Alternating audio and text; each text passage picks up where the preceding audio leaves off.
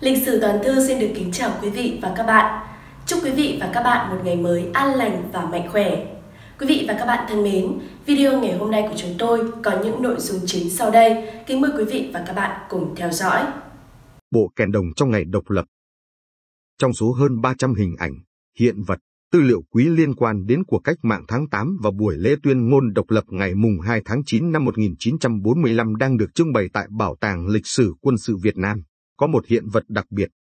Đó là bộ kèn đồng được ban nhạc giải phóng quân sử dụng cử quốc ca trong ngày Bác Hồ đọc bản tuyên ngôn độc lập, khai sinh ra nước Việt Nam Dân Chủ Cộng Hòa. Tư liệu lịch sử tại bảo tàng ghi lại, năm 1924, đội kèn bảo an binh được thành lập trực thuộc tòa thống sứ Bắc Kỳ.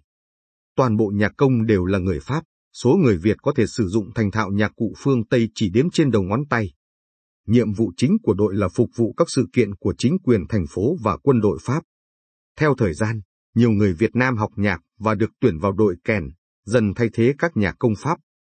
Tháng 8 năm 1945, trước cao trào cách mạng ngày càng phát triển, lớn mạnh, anh em nhạc công người Việt trong đội kèn bảo an binh đồng loạt rời hàng ngũ địch, gia nhập đội quân cách mạng. Sau cuộc cách mạng tháng 8 long trời lở đất, chính quyền đã về tay nhân dân, ngày 20 tháng 8 năm 1945. Ban nhạc giải phóng quân được thành lập với 75 nhạc công do đồng chí Đinh Ngọc Liên làm nhạc trưởng, nòng cốt là các nhạc công của đội kèn bảo an binh. Ban nhạc có nhiệm vụ luyện tập các ca khúc cách mạng để biểu diễn phục vụ buổi lễ thành lập nước.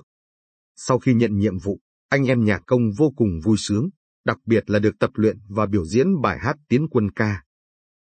Với niềm tự hào, tự tôn dân tộc, dưới sự chỉ huy của nhạc trưởng Đinh Ngọc Liên, 75 nhạc công của ban nhạc đã dồn hết tâm trí vào từng nốt nhạc, sử dụng chuẩn xác các loại kèn hiện đại nhất thời bấy giờ. Ngày mùng 2 tháng 9 năm 1945, tại quảng trường Ba Đình lịch sử, trước hàng vạn đồng bào, chiến sĩ, giai điệu trầm hùng, hào sảng của các ca khúc, diệt phát xít, giải phóng quân, chiến sĩ Việt Nam. Được ban nhạc sướng lên trong niềm tự hào bất tận, khiến không khí buổi lễ thêm rộn ràng, trang trọng. Sau khi Chủ tịch Hồ Chí Minh đọc xong bản tuyên ngôn độc lập, khai sinh ra nước Việt Nam Dân Chủ Cộng Hòa. Hàng vạn người đứng im lặng, lá cờ đỏ sao vàng từ từ được kéo lên trên nền giai điệu bài hát tiến quân ca của nhạc sĩ Văn Cao. Sau buổi lễ tuyên ngôn độc lập, ban nhạc giải phóng quân tiếp tục phục vụ nhân dân, chiến sĩ ở khắp các mặt trận khu 3, khu 4, Việt Bắc. Đi tới đâu, tiếng kèn của ban nhạc cũng vang lên những giai điệu ca ngợi đảng, bác Hồ, quê hương, đất nước, cổ vũ, khích lệ tinh thần chiến đấu của quân và dân trong cuộc kháng chiến đầy hy sinh, gian khổ. Năm 1959, đồng chí Đinh Ngọc Liên đã trao tặng Bảo tàng quân đội, nay là Bảo tàng lịch sử quân sự Việt Nam, bộ kèn đồng gồm 20 chiếc mà ban nhạc giải phóng quân đã sử dụng trong lễ tuyên ngôn độc lập. Ngày mùng 2 tháng 9 năm 1945, hơn 6 thập kỷ đã trôi qua, trải qua bao biến cố và thăng trầm lịch sử, 20 chiếc kèn vẫn được các thế hệ cán bộ, chiến sĩ bảo tàng giữ gìn, bảo quản nguyên vẹn, trưng bày trong không gian trang trọng gắn với sự kiện cách mạng tháng 8, Quốc Khánh 2. Video của chúng tôi xin được khép lại tại đây. Cảm ơn quý vị và các bạn đã quan tâm theo dõi.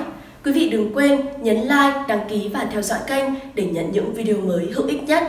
Ban biên tập xin được kính chúc quý vị luôn vui vẻ và an lành.